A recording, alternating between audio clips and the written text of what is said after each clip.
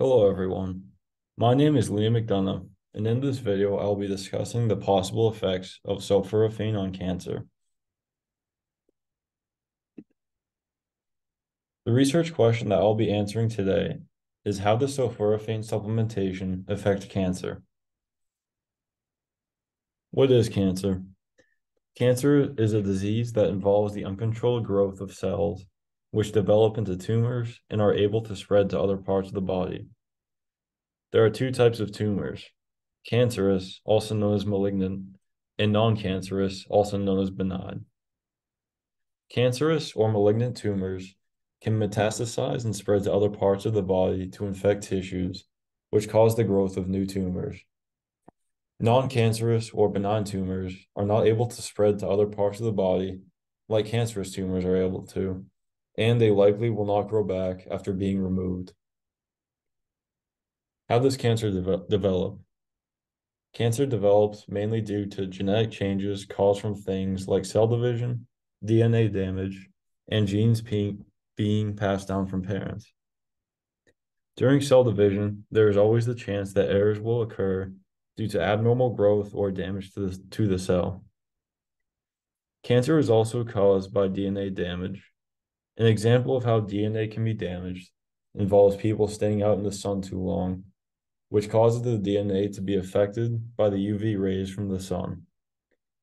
There are also other ways in which DNA can be damaged, such as exposure to toxins and different chemicals. Cancer can also be encoded in genes that are passed down from our parents.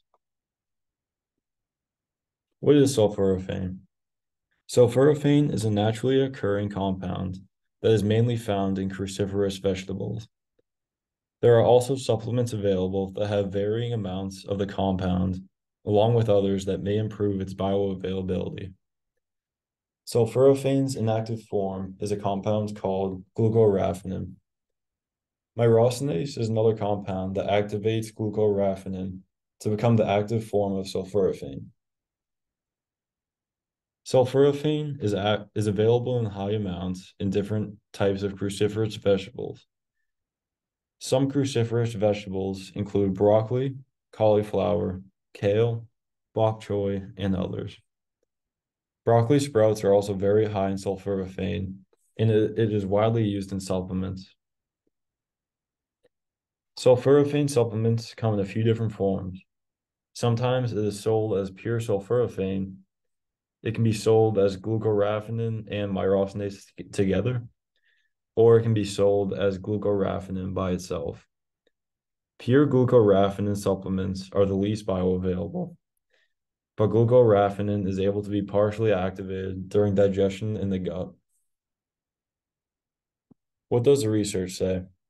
In order to answer this question, I will be briefly analyzing three articles about sulforaphane and its potential to treat or prevent cancer. The first study aimed to determine if sulforaphane effectively treats carcinogen-induced oral cancer from risk factors, such as airborne pollutants and tobacco. In this study, 10 participants took part in a three five-day intervention. Buccal cells inside each of the participants' cheeks were collected and frozen on days one, three, four, and five. Participants consumed a beverage derived from broccoli sprout extract on days two through four of each, each intervention. It was found that sulforaphane activated signaling of the NRF2 pathway and its target genes, which are known to promote carcinogen detoxification. The findings of this research support the claim of the effectiveness of sulforaphane acting as a chemopreventive agent against cancers, specifically head and neck squamous cell carcinoma. Ingesting beverages composed of sulforaphane-rich broccoli sprout extracts may be most effective as a chemopreventive agent and the most bioavailable. The second study I will be discussing aimed to determine whether combining certain dietary compounds could have an inhibitory effect on breast cancer. In this study, cells were treated with sulforaphane, genistein, and sodium butyrate for combined epigenetic effects. It was found that all three compounds combined are effective treatments for regulating epigenetic modifications of breast cancer, rather than each compound acting on its own. Combining these dietary compounds may be most effective at limiting the growth and apoptosis of breast cancer cells. The third study I'll be discussing aimed to determine if broccoli soup rich in sulforaphane would change gene expression in the prostate tissue of participants. For 12 months, 49 men received 300 milliliters of broccoli soup every week. The soup was either made with broccoli as a control or made with broccoli with experimental genotypes that contained higher amounts of glucoraphanin. This study concluded that consumption of cruciferous vegetables high in sulforaphane and cancer progression have an inverse relationship. This is due to sulforaphane decreasing the expression of oncogenic pathways that have the potential to cause growth of tumors.